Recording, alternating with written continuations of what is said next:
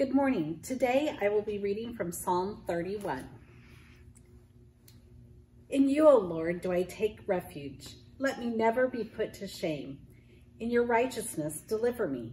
Incline your ear to me. Rescue me speedily. Be a rock of refuge for me, a strong fortress to save me. For you are my rock and my fortress, and for your name's sake you lead me and guide me. You take me out of the net that they have hidden for me, for you are my refuge. In your hand I commit my spirit. You have redeemed me, Lord. Faithful God, I hate those who pay regard to worthless idols, but I trust in the Lord. I will rejoice and be glad in your steadfast love. Because you have seen my affliction, you have known the distress of my soul, and you have not delivered me into the hand of the enemy. You have set my feet in a broad place. Be gracious to me, O Lord, for I am in distress. My eye is wasted from grief, my soul and my body also. For my life is spent with sorrow, and my years with sighing. My strength fails because of my iniquity, and my bones waste away. Because of all my adversaries, I have become a reproach, especially to my neighbors, and an object of dread to my acquaintances.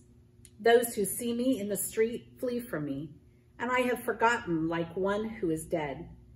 I have become like a broken vessel, for I hear the whispering of many terror on every side, as they scheme together against me, as they plot to take my life. But I trust in you, O Lord. I say, you are my God. My times are in your hand. Rescue me from the hand of my enemies and from my persecutors. Make your face shine on your servant. Save me in your steadfast love. O Lord, let me not put to, be put to shame, for I call upon you. Let the wicked be put to shame, and let them go silently to Sheol. Let the, my, the lying lips be mute, which speak insolently against the righteous, in pride and contempt. Oh, how abundant is your goodness, which you have stored up for those who fear you and worked for those who take refuge in you in the sight of the children of mankind. In the cover of your presence, you hide them from the plots of men. You store them in your shelter from strife of tongues. Blessed be the Lord, for he has wondrously shown his steadfast love to me when I was in a besieged city. I had said in my alarm, I am cut off from your sight, but you heard the voice of my pleas for mercy when I cried to you for help.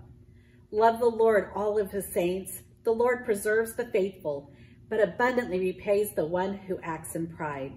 Be strong and let your heart take courage, all of you who wait for the Lord. Let's pray. Dear Heavenly Father, thank you for being our refuge. Thank you for your faithfulness. God, when we turn to the Psalms, we see how our cries for help are not on silent ears.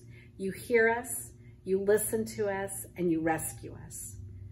God, I just pray that today those who are hurting, those who are sick, those who need you in this time, God, I just pray that you would hear their cries, that you would be their refuge, that you would be their shelter, that you would rescue them. God, we love you and we pray these things in Jesus' name. Amen.